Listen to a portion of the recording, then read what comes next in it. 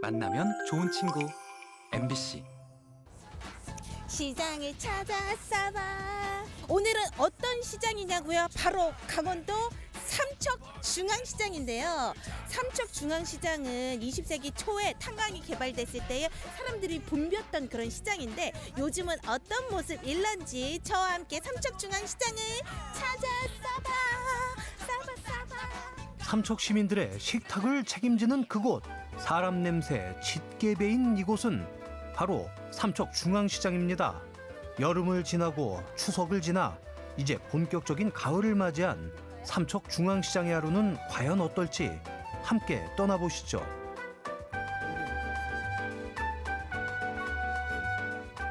전통시장 하면 뭐니 뭐니 해도 없는 것 빼곤 다 있다는 사실.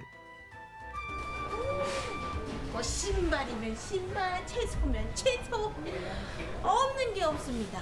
어르신 뭐 좀 여쭤봐도 될까요? 여기 뭐가 유명해요? 여기가 네, 뭐가 제일 유명하면은 네. 문어 오, 또 오징어 그러면 이렇게 딱 왔을 때 맛있는 간식거리도 또 시장의 묘미잖아요. 야. 간식 같은 거 어떤 거 맛있는 게 있어요? 주로 보리밥 종류 국수 삼척에는 우리 아버님이 좋아하시는 메뉴를 말하신 것 야, 같네요. 야, 그렇죠? 야. 삼척 중앙시장에 다니신 지 몇 년이나 되셨어요? 어이구 나는 삼척 출신이에요 원래 오, 삼척 초등학교 나와가지고 계속 여기 나이 80이 넘들여 살고 있어요 사람도 많고 여러 물건도 많고 마트도 물건이 많지만은 이 재래 시장이 애호해줘야죠 우리가. 여기는 바로 어시장 입구입니다. 삼척하면 바다가 좋잖아요. 그러다 보니까 어시장이 더 풍부할 것으로 예상이 되는데요. 기대된다. 사장님, 네. 요거 대형문화 맞죠? 어, 그 대형문화에 속해요. 예. 우와, 저 앞에 있는 거 엄청 커 보이는데 키로수가 몇 키로짜리예요? 8kg짜리. 8kg보다 더 큰 것들도 나오나요? 뭐 30kg, 40kg짜리도 있어요. 우와. 있어요. 그 정도. 우리 그럼 집에... 이게 다 국내산 문어인가요? 네, 국내산 요 근에서 다 잡아오는 것들이에요. 야. 네, 삼척 요 근에서. 우와, 아이고 혼자 들 들지는 못해 제가 도와드릴게. 아우 무거, 어와. 야. 바다 괴물 아닌가요? 저 이런 크기의 문어를 태어나서 처음 봤거든요. 우와. 요거 보세요. 빨판 하나에 이 크기가 야 힘이 장사예요 장사. 이거 건강하지 않을 수가 없네요. 이건 먹고 그냥 몸이 보양이 안 될 수가 없어요. 근데 지금 이거는 뭐예요? 옆에는 여기 문어 내장이에요. 문어 속에서 나온 거. 이 내장은 어떻게 쓰는 거예요? 또 요거도 똑같이 숙회로 이게 삶아서 뭐 참기름이랑 고추장해서 먹으면 맛있어요. 초고추장해서 예, 저 별미 문어 별미. 내장은 한 번도 먹어본 적이 없거든요. 그쵸. 좀 드물어요 이런 게. 오. 좀잘 없어요. 이게 아무래도 도시에서 샀을 때는 싱싱하지 않으면 이게 안 되는 거잖아요. 그렇죠, 그렇죠, 그렇죠. 이 신선한 문어를 드시려면은 여기 삼척 중앙시장에 오면은 앞바다에서 잡은 거를 갓 드실 수 있습니다. 오야, 안 돼 안 돼. 어머니 뭐 손질하고 계세요? 방건데 반찬 해 먹고 손님들 주려고는 발레가지고 짱는 중이다. 맛있어 이거. 이거 해도 맛있어 맛있어. 방어가 다른 생선이랑 비교했을 때 어떻게 맛있어요? 뭐든지 기름도 많고요 구수하고 맛있어요. 어머님 여기 삼척 중앙시장에 생선들 많이 사러 오시나요? 매일 오죠. 나 어제도 가서 어제도 와 잔뜩 사고 갔어. 응. 저 2만 원씩 하고 와서 여기서 저기서 문채가지고 여럿이 먹었어. 그럼 요거 한 바구니 얼, 사장님 얼마예요? 많으니까. 만 원. 만 원. 이거 실합니다, 여러분. 산더미 회가요. 이게 만 원이라고요? 커피 두 잔 값에 산더미 회를 가져가는 곳이 바로 삼척 중앙시장입니다. 어머니 그게 뭐예요? 김치랑 아 김치랑 먹어요 회를요? 삼척 금손 어머님의 황금 레시피 제가 한번 먹어보겠습니다. 야, 요거 요거 궁금하네.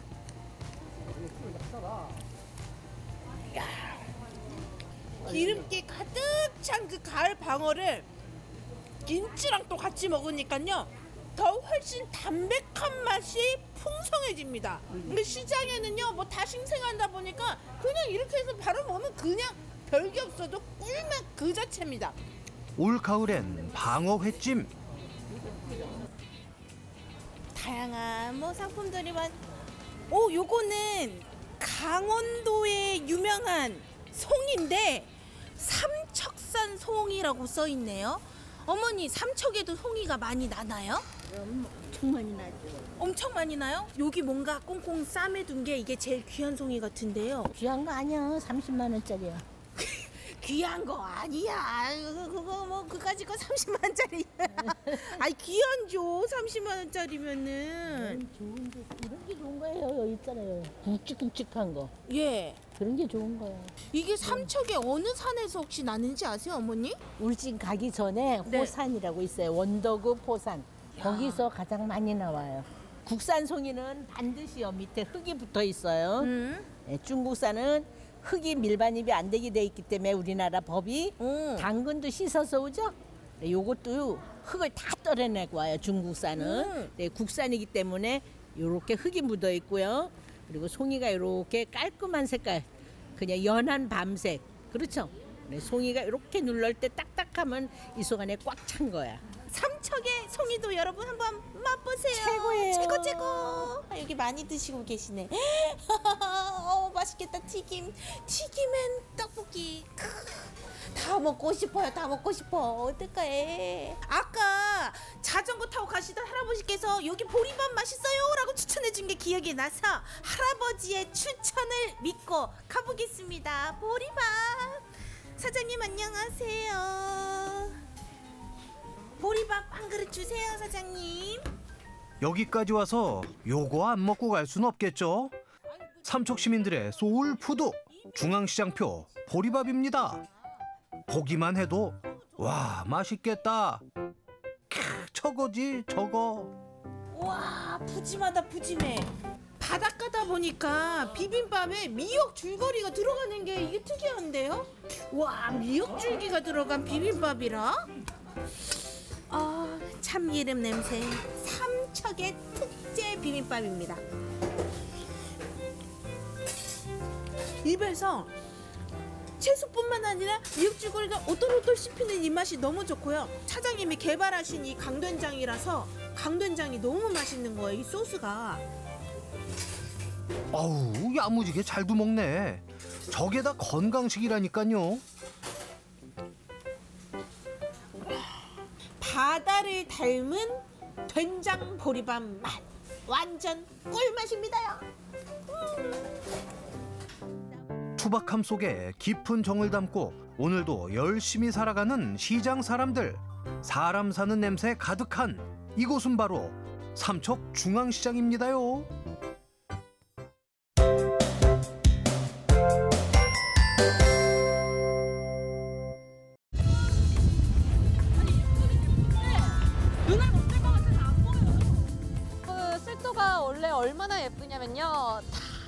돌아보면 이렇게 예쁜 바다, 저쪽으로는 와 도시입니다.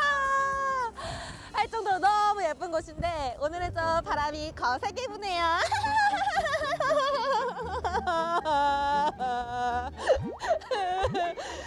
아니 감독님 맛집이 도대체 어디 있다는 거예요?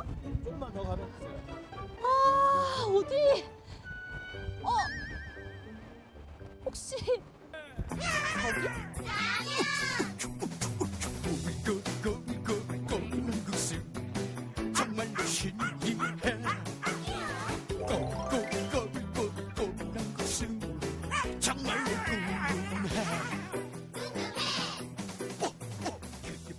셰프님 어디 계세요 셰프님? 과연 어떤 라면이 기다리고 있을지. 오 무인 라면. 무인 라면? 우와 여기 보면 커피도 있고 음료도 있고 과자. 과자까지 어머! 아! 아니 서울에 한강 라면이 있다면 울산에는 쓸도 라면이 있다. 요즘 굉장히 핫하더라고요. 그래. 쓸도 라면이면 제가 인정 인정하겠습니다 아 빨리 먹고 싶은데 어떤 라면을 먹지 너무 고민되는데 아 감독님 어떤 거 드실래요? 우리 오늘 데이트 해야죠. 저는 신라면 먹을게요. 아 매운 거로 가시겠다. 그렇다면 저도 매운 거 받고 진매로 가자 진매로. 자, 결제가 어, 카드도 되고 현금도 되고. 그런데 제가 카드를 안 들고 왔거든요. 그럴 줄 알고 감독님 지갑을 제가 차에서 가져갈 겁니다. 아, 잘 받을게요 감독님. 이건 법카 아니고 감독님 개카. 핫바도 해도 되나요? 네, 다. 아 그래요? 근데 표정이 너무 안 좋으시다. 자, 자 그러면 한국 다가와 다가와 다가와 다가와 다가와 다가와 다가와 다가와 후후후후후. 굳어가는 감독님의 표정. 돈을 그만 쓰라는 감독님의 표정. 와우. 김치까지 2번 핫바 나와 핫바 나와. 쭈루루루루 시작. 짜라란. 평소에 라면 물 못 맞춘다 라면은 못 끓이겠다 하시는 분들도 걱정 붙들어 내세요. 알아서 조절 다 해줘요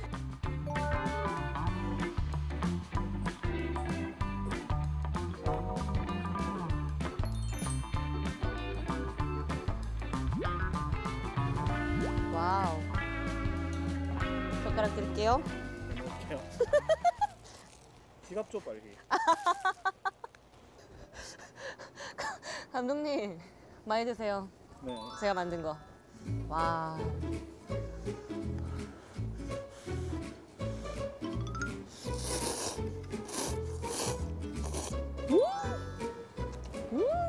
평소에 바다에서 이렇게 라면 먹어본 적 있어요? 음. 없어요. 어때요 이렇게 밤에? 너무 좋아요. 진짜 제가 이때까지 없었던 이유가 이렇게 너무 좋은 곳은 사랑하는 사람이랑 와야겠다라는 생각 때문에 아껴놨던 거. 근데 그거를 음. 와 똥손인 제가 해도 다 알 수 있다. 그냥 시키는 대로 하면 그냥 바로 나와요. 음, 바로 맛있는 라면이 딱 있고 고개를 돌리면 와. 저 전경 너무 반짝반짝해서 와 너무 좋다. 낮에 와도 좋지만 이렇게 저녁에 와서 운치 있게 라면과 함께 곁들이면 더 낭만적.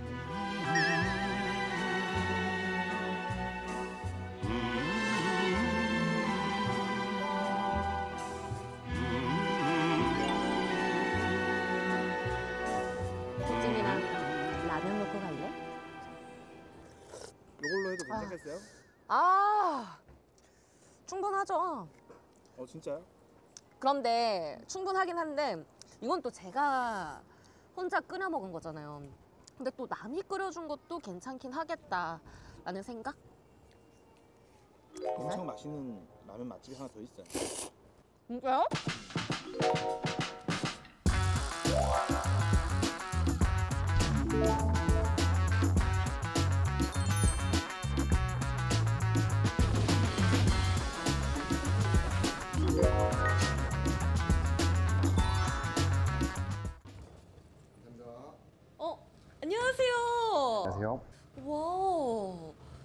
여기 분위기가 굉장히 이라샤이마세! 스러운데요. 여기 어떤 가게인가요?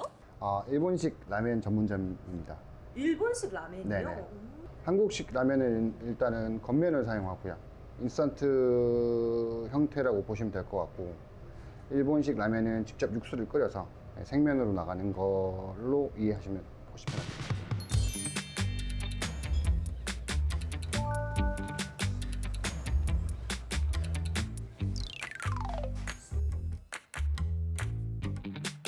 쇼유 라멘. 쇼유 라멘? 네, 쇼유 맛이 라멘. 어때요? 간장으로 베이스 돼가지고 네, 깔끔하고 맛있어요. 근데 후추를 더 넣고 하니까 더 어, 생동감이 있어요 맛이. 뭘 어떻게 해야 돼? 뭐 멘트 좀 해주고 하면 안 돼? 좋아 좋아요. 생동감 있는 살아있는 맛. 아니 무슨 멘트를 좀 해주고 나 이런 거 안 해봐가지고. 아니 그러면 일본은 다녀오신 적 있어요? 네 갔다 왔어요. 일본에서 라멘을 드셔본 적은? 그 오사카 가가지고 먹었는데 그땐 좀 짰거든요. 이건 진짜 저희 한국 입맛에 딱것 같아요. 아니 그러면 오사카를 다시 또 가실 의향이 있으실까요? 굳이 이제는 안 가도 될 것 같아요. 왜냐 그쪽 라면 너무 작기 때문에 이게 진짜 저의 입맛에 딱 맞는 것 같아요. 자주 오시나요? 네, 저는 오픈하자마자 지인한테 들어가지고 바로 왔었어요. 오픈런 해가지고. 아니 그러면 자주 올 정도로 하는 이곳만의 매력은 어때요? 사실 울산이 되게 라면집이 맛있는 곳이 없다라고 생각을 했는데 좀 제대로 된 곳이 생긴 것 같아요. 그래서 자주 오는 것 같아요. 그러면 오늘 제가 이제 일본 라면을 먹어봐야 되는데 어떤 걸 먹어야 될까요? 어, 일단은 저희 가게는 메뉴 큰 카테고리를 보면 세 가지 정도를 하고 있는데 하나는 찌개면이라고 찍어 먹는 라면 그리고 하나는 맑은 스프에 담백하게 먹을 수 있는 청탕라면 두 가지랑 그리고 비벼 먹는 라면이라고 어, 마제소바나 아브라소바 같은 것도 하고 있고요. 음, 그럼 저는 이찌니 산 구다사이. 올 구다사이.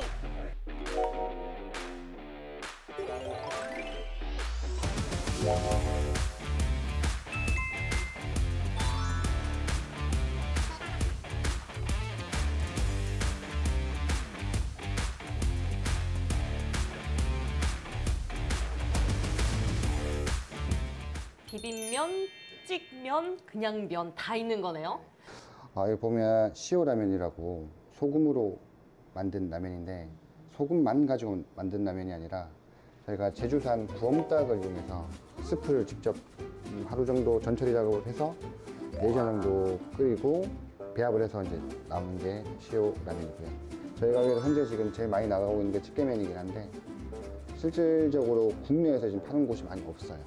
이거 같은 경우는 이제 찍어서 먹는 라면이라고 보시면 될 것 같습니다. 이 스프 보시면은 어, 저희가 닭이랑 돼지 진하게 우려가지고 미소타레랑 같이 배합을 해서 좀 농후하게 면이 잘 딸려올 수 있게끔 배합한 라면이고요. 그리고 찌개면 같은 경우는 저희가 직접 새우 마늘 후레이크를 배합해서 만든 건데 중간에 드시다가 이걸 넣어서 드시면 또 다른 풍미를 느끼실 수 있으시고요. 그럼 이걸 처음 먹을 때 넣는 게 아니라 먹다가 넣으면 좋은 거죠? 중간에 먹다가 넣으시면 되고요. 또 변주시키기 좋은 게 저희가 다시마 식초인데 아 근데 멸치가 멸치를 직접 볶아서 기장산 멸치인데 직접 풍미를 좀 주려고 좀 감칠맛이 확 올라오실 거예요. 어 저는 사장님이 일부러 식초 아끼시려고 못 먹게 멸치 담그신 줄 알았어요. 중간에 한번 비벼 드셔보시면 풍미가 확 사실 거예요. 나의 피땀물이 다 여기에 담겨 있다. 네, 그렇게 보시면 될 것 같아요. 그럼 제가 오늘 이 네 가지 라면을 한번 맛있게 즐겨보도록 하겠습니다. 이따다키마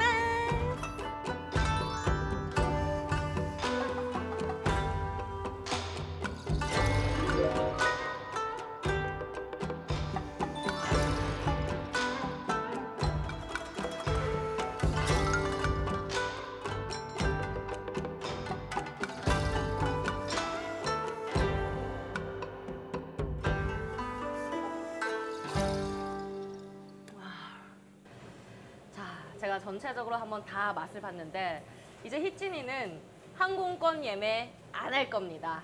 울산에 와도 이렇게 맛있는 현지 라멘을 먹을 수 있다는 점. 음, 감동적인 맛이에요, 너무. 만약에 평생 라멘만 먹을 것인지 평생 라면만 먹을 것인지 물어보신다면 음, 둘 다 먹으면 안 되나요? 포기할 수 없습니다.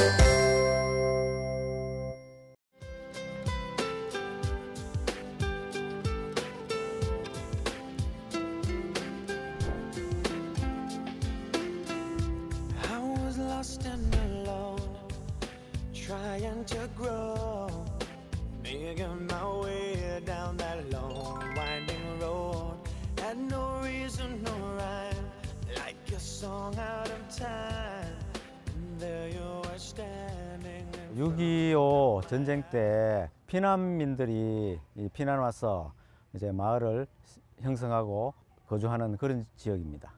과거에는 여기에 대방이 없다 보니까 주로 이제 낙동강이 범람해서 침수도 많이 되고 살기가 상당히 어렵죠, 사실은. 생활 여건도 안 좋았고 그랬습니다.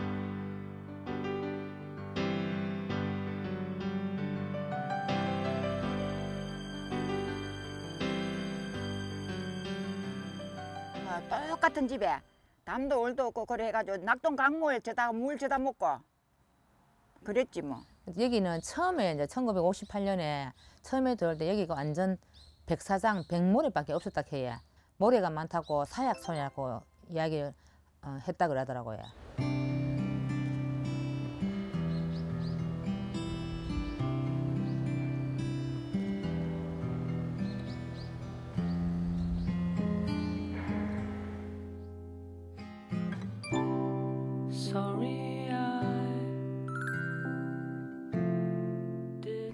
처음에는 여기에 마을 사람들이 정착을 했을 때 모래 땅이다 보니까 어떠한 작물을 심어도 이 소출이 안 나는 거예요. 그래서 어떤 어르신 한 분이 반야월에 가셔서 몰래 연실을 가지고 와가 여기 모래 땅이다 보니 연을 한번 심어봤어요. 그랬더니 아 연근이 잘 되는 거예요. 그래서 지금의 저희 마을 연근 마을로 이렇게 할 수가 있게 되었습니다.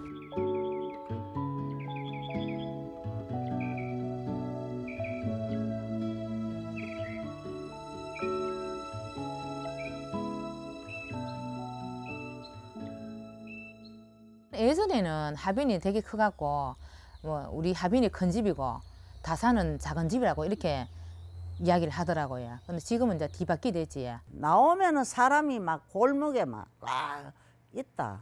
골목에. 어른이 아고 하다 많아가지고. 한 집에 제하가 다섯 명 이러면 여섯 일곱 막 다 이래 있으니까. 그때는 빈집 없어. 꽉 차고 이랬는데 아이고 점점점 사람들이 이제 자꾸 바뀌잖아 세월이 그러니까 바깥으로 자꾸 다 나가더라고.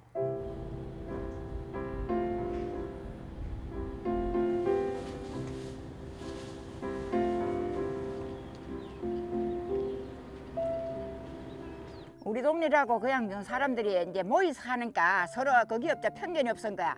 고향은 좋긴 좋은데 부자가 있고 가난한 사람이 있으면 이래 좀 그런데 이어놓은 게다 모여드는 사람 사- 사람께는 너무 좋아. 서로 이제 다 똑같은 형편이 모두 이사 왔으니까 거기 참 좋아해. 애들이 너무너무 많았다. 사람도 많고 웃고 모이면은 없어도 다 이래 했는데 지금은 그때처럼 그렇진 않아.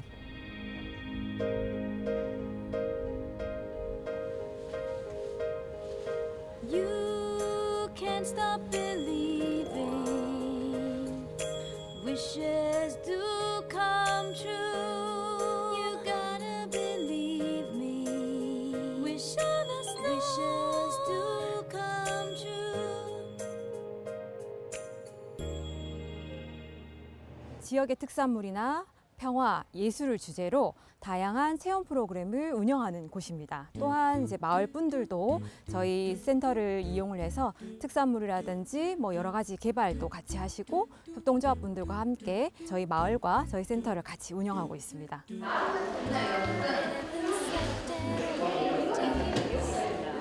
약간 제가 좋아하는 향을 섞긴 했는데 근데 좋아요.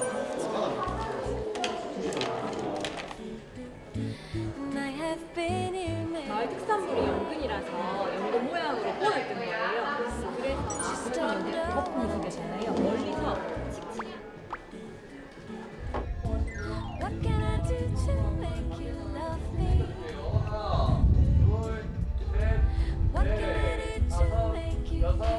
일곱, 여덟 반대. 여덟. 자, 이번 다리를 짧게 벌려서요. 런앤런은 마을을 즐기는 행사거든요. 달리기를 하고요. 그리고 GPS 아트 지도를 만들고요.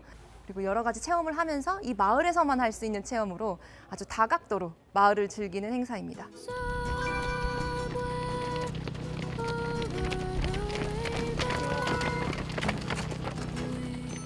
청년의 시선으로 달성군을 바라보고 그로 인해서 생기는 문화 상품들을 기획해보는 그런 사업입니다. 이곳을 돌아보고 또 이곳과 관련된 문화 프로그램을 이제 함으로써 지역을 돌아보고 지역을 활성화시킬 수 있는 그런 프로그램입니다. 이거 연잎이요. 연잎. 연잎인데 이거 김장사 거리 가면은 네, 이거 한거 있잖아요. 벽화. 처음에 제가 왔을 때는 저 집이 우리 집인데 저 집밖에 없었어요. 저 집밖에 없어 옥상에 딱 올라가잖아요. 그러면 전부 다 쓰레기 집인데 똑같았어요. 제가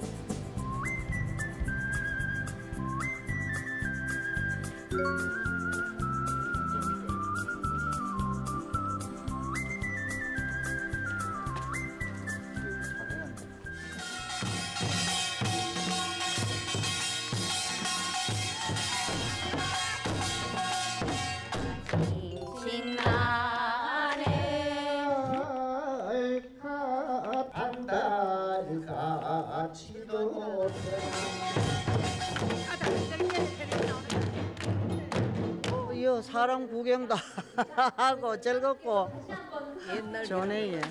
이거 모내기 가니까 옛날 생각나고 클 때. 신명나지? 장구 치고 푹 치고 깽가리 치고 모두 손 굽고 잘 없었는데 이런 행사를 하니까 너무 즐겁고 뿌듯하고 너무너무 즐- 즐거웠습니다.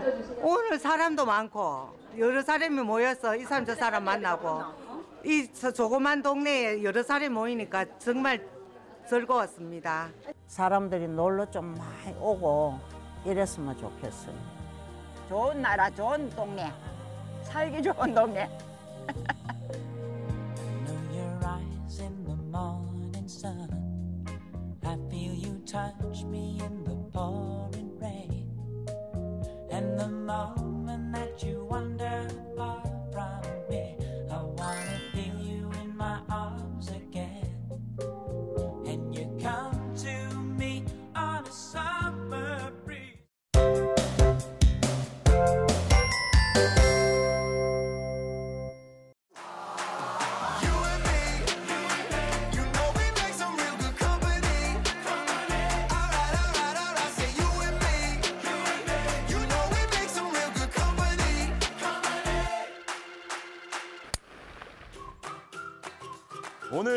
찾아갈 곳은 한라산 북쪽 중턱을 가로지르는 살록북로입니다. 이곳은 516도로와 1100도로 사이길로 한라산 최고의 드라이브 코스로 손꼽히는데요. 지금부터 가을빛으로 물들어가는 살록북로로 함께 떠나보시죠.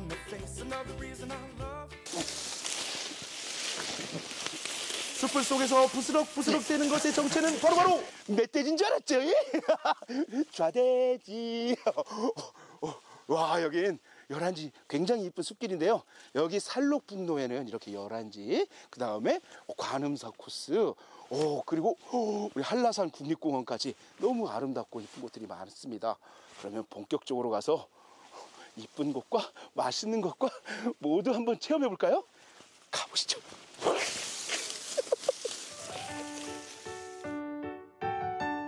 먼저 살록북로의 비경을 자랑하는 단풍 명소로 안내합니다. 바로 탐나교육원 옆에 자리한 열한지 숲길인데요. 이곳은 도민들도 잘 모르는 비밀의 숲이라고 합니다. 열한지 숲길 계곡에 단풍이 붉게 물들면 그야말로 장관이라고 하는데요. 지난주 제가 갔을 땐 조금씩 단풍물이 들기 시작하고 있었습니다. 이곳이 제주도 도민들만 알고 있는 정말 숨은 단풍 명소라고 해요. 아, 예년 같았으면 벌써 단풍이 엄청나게 지금 물들었을 텐데 올해 9월의 폭염, 아, 10월 반짝 더위 때문에 약간 늦어지고 있다고 합니다. 평소 같았으면 어, 이렇게 길거리 지나가는 분들한테 안녕하세요 인사하고 싶었는데 오늘은 사람이 없네요. 나무들한테 인사할게요. 안녕. 자 선생 왔다 간다. 단풍 들면 또 올게. 안녕. 점점 깊어가는 가을날 이번에 찾은 곳은 한라산 동북쪽 기슭계에 자리한 한 사찰입니다. 때는 정오를 향해 가는 즈음 식당이라곤 전혀 보이지 않는 녹북로를 헤매다 스님 한 분을 만났습니다. 스님 안녕하십니까? 제가 배가 너무 고파서 그러는데 공양 한 그릇만 부탁드려도 되겠는지요? 예, 물론이지요. 이쪽으로 오시죠. 아, 사찰 안으로 인도해 주시는 스님을 따라가 봤더니 마침 이곳에서는 점심 공양이 한창이었습니다. 맛있는 음식들이 가득이었는데요. 안녕하세요. 안녕하세요. 아유, 저도 밥 한 끼 얻어 먹어도 될까요? 예. 아, 예. 아유, 감사. 아, 이렇게 환영해 주시니 너무 감사합니다. 편, 편안하게 먹어도 되겠죠? 두 그릇. 종류별로 다 떠보겠습니다. 아, 이거는 아, 깻잎이다, 깻잎. 또 오이 맛있더라. 이것이 바로 자연이 주는 제철 식재료로 만든 건강한 사찰 음식, 흔히 절밥이라고 하죠. 아유, 팀장님. 아유, 반갑습니다. 아유, 반갑습니다. 아, 여기는 이게 또 악수 하는 것보다 요, 요, 요, 이게 또 이게 또 아, 이게 어울리네. 아, 제가 사찰 음식을 처음 먹어봐요. 부처님 오신 날 와, 와서 먹어야 되는 거 아닌가 싶었는데 편안하게 오세요 해가지고 이게 초대해 주시더라고요. 예, 정식 공양은 이제 시간에 11시 반부터 이제 12시 30분까지 음. 오시면은 언제나 같이 아, 누구나? 공양할 수 있습니다. 누구나 다. 네네. 뭐 이렇게 뭐 신자가 아니라도 네네. 누구나 다 그냥 무료로 먹을 수 있다. 네. 하, 제가 이런 노멀 된장국 제주도 말로 이 우리 또 노멀 된장국 잘도 좋아합니다. 이게 된장국에 아유 칼칼하게 고추도 있고 버섯도 있고 좋아요. 음. 사찰 음식은 이제 깔끔하면서 담백한 맛이 일어나요. 어. 예, 그래서 이제 소화도 잘 되고. 소화도 잘 몸에- 되고. 예, 그래서 몸에 건강에 좋고. 그러면 몸에 건강에 좋은 음식을 제대로 한번 먹어볼까요? 절밥은 역시 비빔밥 아니겠습니까? 갖가지 나물들을 싹 다 넣어서 맛있게 비벼봤는데요. 고기 한 점 없어도 윤기가 짜르르 흐르는 거 보이시죠? 여러분 사찰 음식입니다. 이게 진정한 비건 음식이지. 건강해져라 형구가 맛있게 드세요.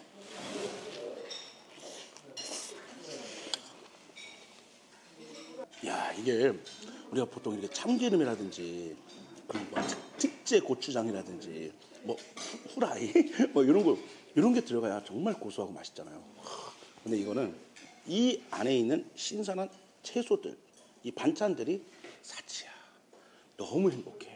음, 요즘엔 자연국 채소 많이 먹는데 먹어보겠습니다. 와. 아니 어떻게 이걸 그냥 와서 그냥 먹어? 응? 이건 그냥 먹을 수 없고 가면서 뭐 쓰레기라도 든가 뭐라도 봉사라고 해 봉사라도 해야겠다는 생각이 들 정도예요. 이거는 여러분 제가 대신 건강해질게요. 여러분들도 건강해지세요. 건강한 밥상이었어요. 식사 후 스님과 함께 일일 템플스테이 체험에 나섰습니다. 저희 복료관 스님께서는 저희 간음사를 중창하셨습니다. 중창. 예. 저희는 저희 간음사는 폐허가 돼서 아무것도 없으셨는데요. 음. 이쪽 간, 해월굴에서 관세음보살님을 친견하시고 지금의 오늘날 간음사를 중창하셨습니다. 석상 옆으로 자리한 나지막한 이 굴이 해월굴입니다. 굴 안에는 불자들이 켜놓은 초가 가득했는데요. 이곳에서 복려관 스님은 6년여 동안 기도 정진한 후 한라산 자락에 사찰을 세우셨다고 합니다. 지금은 신자들뿐만 아니라 많은 관광객들의 발길이 이어지면서 이 사찰은 살록북로의 명소가 됐습니다.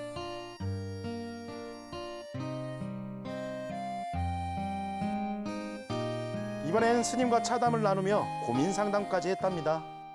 외롭다는 것도 일종의 공함을 만들어낸 거거든요. 있는 것도 아니고 없는 것도 아닌 거. 그러니까 예를 들어서 지금 여기에 된장찌개가 있다고 생각해 보세요. 냄새가 어떻습니까? 구수하고 맛있겠다. 그죠? 근데 지금 여기 된장찌개가 있어요? 없죠. 없, 없죠. 그러니까 그 외로움도 내가. 네. 그러니까 본인이 이 공함을 아 이게 공하다는 거구나라는 걸 이해하시면 돼요.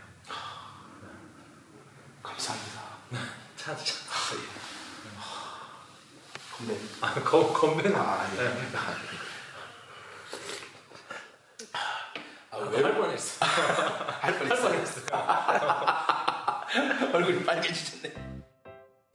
이번엔 템플 스테이의 꽃이라고 할 수 있는 108배에 도전했습니다.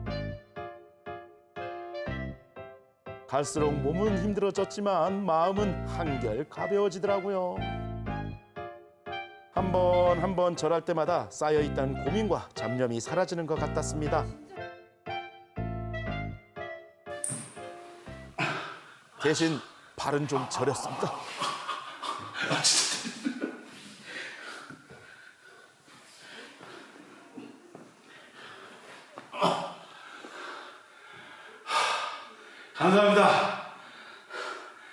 열심히 살겠습니다.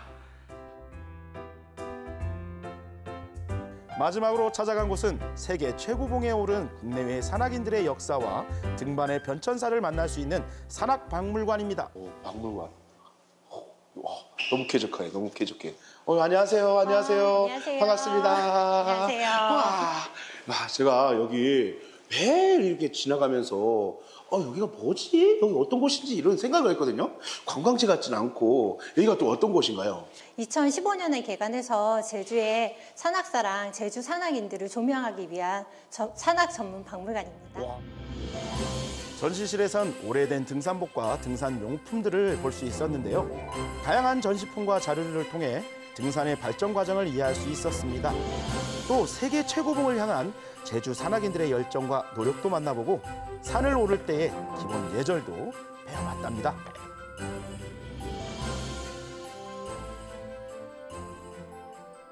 기본 에티켓들이 있단 말이죠. 그런 에티켓 좀 이렇게 간단히 좀 설명 좀 부탁드릴게요. 예, 좁은 등산로를 만나면 서로 양보를 해주시기 바랍니다. 양보. 네. 저 때문에 더 좋아지긴 하더라. 그리고 산에서 이렇게 큰 노랫소리나 야호 같은 거는 삼가해 주시고요. 그리고 산행 중에는 음주는 절대 안 되십니다. 아이, 그 운주하는 사람도 있어요.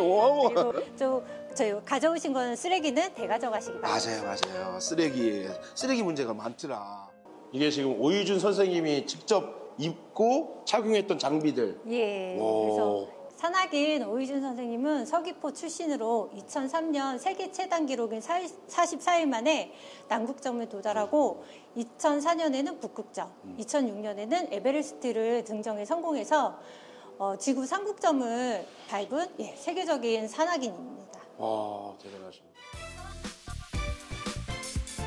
오늘도 세계 등반 역사에 이름을 남긴 자랑스러운 제주 출신 산악인들도 만나는 뜻깊은 시간이었습니다. 짧아서 아쉽지만 그래서 더욱 소중하고 아름다운 이 가을 비경을 간직한 살록 국로를 따라 늦가을의 정취를 마음껏 누려보는 건 어떨까요?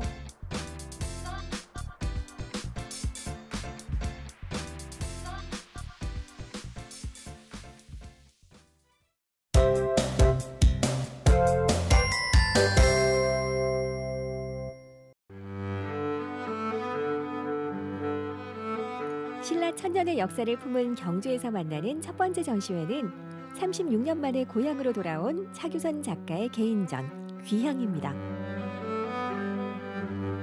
차규선 화백은 사실 전국적으로 그리고 세계적으로 이미 어, 인지도가 아주 높고 유명한 작가입니다. 그렇지만 어, 사람들이 모르는 게 한 점 있는데요. 바로 차규선 화백은 경주 출신 작가라는 것입니다. 그래서 전시 제목을 귀향으로 짓게 되었고요. 그가 그린 그림들이 어, 이제 다시 고향으로 돌아간다라는 네, 이제 컨셉으로 귀향이라고 짓게 되었습니다.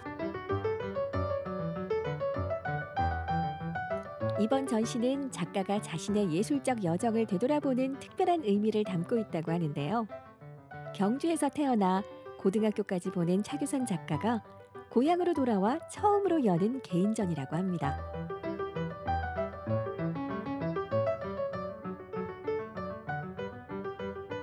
전시는 총 네가지 섹션으로 구성이 되어 있습니다. 첫 번째는 차기선 화백의 네, 초기작을 보실 수 있고요. 거기에는 정겨운 이제 경주의 시골 풍경을 비롯해서 화백님이 젊었을 때 이제 작품을 네, 보실 수 있습니다. 그리고 그 다음 섹션에는 분정 회화의 시작 이라고 해서 본인 그 화가를 상징할 만한 대표작들을 한꺼번에 보실 수 있고 그 다음으로는 네, 심상 풍경 시리즈라고 해서 분정 회화에서 또 한층 업그레이드된 내면의 어떤 그런 풍경을 담았는지 보실 수 있고 마지막 섹션에는 최신작을 비롯한 매화라던가 수선화 등등 여러 가지의 꽃그림들을 보실 수 있습니다. 차규선 작가의 작품에는 경주가 준 예술적 토양이 자연스럽게 스며들어 있습니다. 초기에는 주로 사실적인 풍경화가 중심이었지만 시간이 지나면서 자신만의 화풍을 찾기 위한 깊은 고민을 이어갔습니다. 나만이 가지고 있는 어떤 독자적인 방식의 회화가 무엇일까? 늘 그거는 그 화가들이 숙명적으로 고민하는 부분들입니다. 제가 경주에서 오랫동안 자랐고 뭐 박물관 토, 박물관의 톡이라든가 그런 흔적들을 보고 또 어떤 분청 도자기를 본 순간 아 회화를 가져왔으면 좋겠다 그런 생각을 했었죠. 그리고 그걸 적극적으로 이 평면 회화에 적극적으로 도입을 했었습니다. 2000년대 차규선 작가는 분청 회화 기법을 선보이며 그의 작품 세계에 새로운 전환점을 맞이하게 되는데요. 그 실제 흙을 바르고 이제 도자기 아크릴 물감으로 바르고 이 긁어내는 겁니다. 이렇게 초기작들은 대부분 다 이렇게 단순하게 바르고 긁어내는 어떤 그런 방법이었는데 그 이후로 또 물로 씻- 씻어내기도 하고 어떤 우연적인 그런 효과도 있고 계획적이면서 계획적이지 않은 굉장히 감성적인 그런 측면들이 많이 묻어 있는 그림입니다.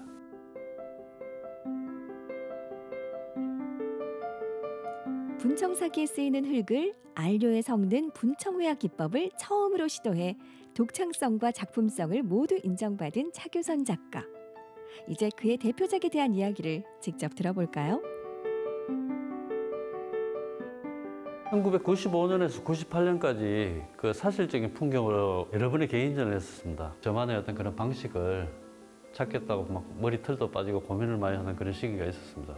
그래서 그 전에 그린 어떤 그 그림들 위에다가 어, 덧칠하여 그림을 그렸는데 여기다가 그 다른 대체 재료로 흙도 발라보고 어, 모래도 발라보고 여기서 어느, 어, 어느 순간 분청이라는 도자기를 발견하고 그게 또 회화로 넘어가고 그래서 어, 그림의 뭐 내용을 떠나서 형- 형식이나 재료 측면에서 굉장히 중요한 작품이라고 생각합니다.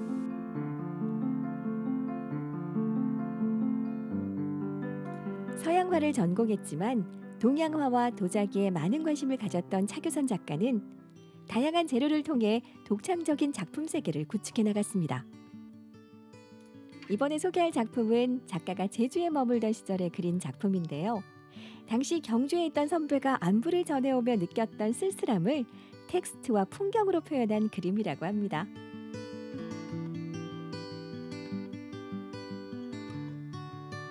가을이 아직 육지에서 완전히 내려오지 않아 가을색이 조금 옅습니다. 허나 바람은 습하지 않고 상쾌하며 조석으로 살살합니다.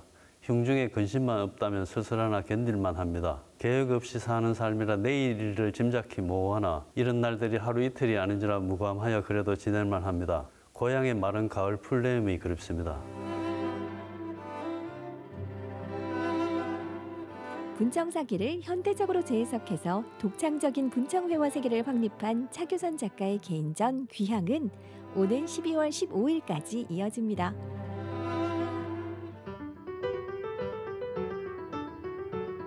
다음으로 소개할 전시는 경주 솔거미술관에서 만나볼 수 있는데요. 도자 페인팅 작가 강준영 작가의 개인전 과정의 과정입니다.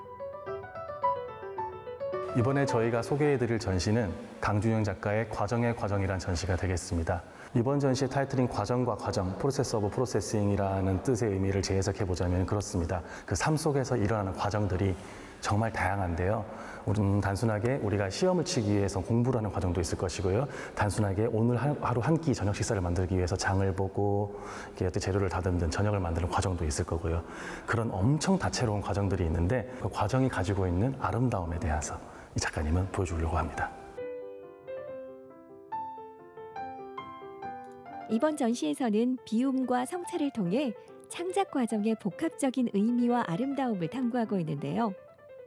드로잉과 집이라는 공간을 통해 과거를 성찰하고 현재를 인식하며 우리는 어떻게 살아가며 변화할 것인가라는 질문을 우리에게 던지고 있습니다.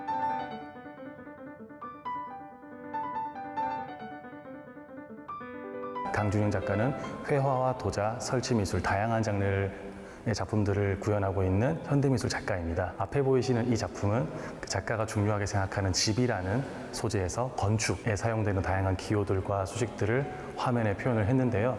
집이라는 건 단순해 보이지만 단순하지 않은 우리의 이제 삶의 터전이 되는 공간입니다. 그 삶의 터전이 가지고 있는 아주 다양한 요소들을 그림에 표현함으로써 이 집이라는 것이 우리 삶에 어떻게 작용하는지에 대한 것들을 드로잉으로 풀어서 보여주고 있습니다. 그리고 앞쪽에 보이는 이 작품 보시면은 어떻게 보이시나요? 지금 이 작품 자체가 집의 형태를 띠고 있어요. 굴뚝에서 이렇게 뭐가 볼로 올라온 것이 보일 건데 저게 사실은 하트예요. 집에서 사랑이 뿜어져 나오고 있는 거죠. 그러니까 집이라는 것은 단순한 건축물을 넘어서서 우리의 삶을 관장하는 하나의 어떻게 보면 신장과도 같은 그런 공간이라고 볼 수 있는 거죠. 그 안에서 우리의 삶이 모두 이루어지기 때문이죠.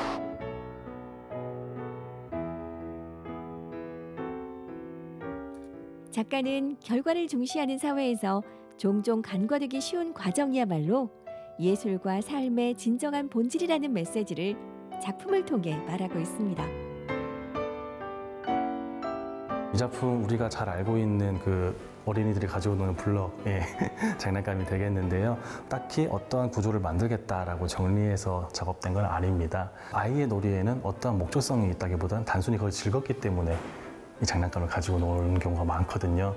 그, 그때 우리가 어떤 목적성을 가지고 이 놀이에 참여하는 것이 아니라 순수하게 아이의 즐거움을 위해서 부모가 동참해서 육아를 하게 되는 거죠. 그런 과정조차도 사실은 이제 이 집이 존재하는 이유이기도 하고 그 집 안에서 일어나는 행위이기도 하고 그 자체가 과정이 되는 거죠. 그 과정이 사랑으로 변해서 이 아이가 컸을 때 이제 품은 부모의 사랑이 또 베풀어지겠죠. 이런 것들에 대한 다양한 이야기들을 이런 설치 작품들로 예, 표현했습니다. 과정을 중시하는 열린 시각을 통해 삶에 대한 새로운 관점을 형성하는 작품들을 선보이고 있는 강준영 작가의 과정의 과정. 전시를 관람할 때 감상 포인트는 무엇일까요?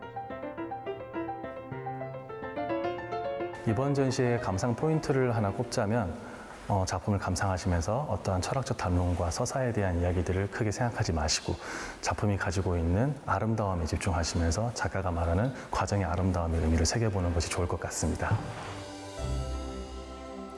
차규선 작가의 귀향과 강준영 작가의 과정의 과정.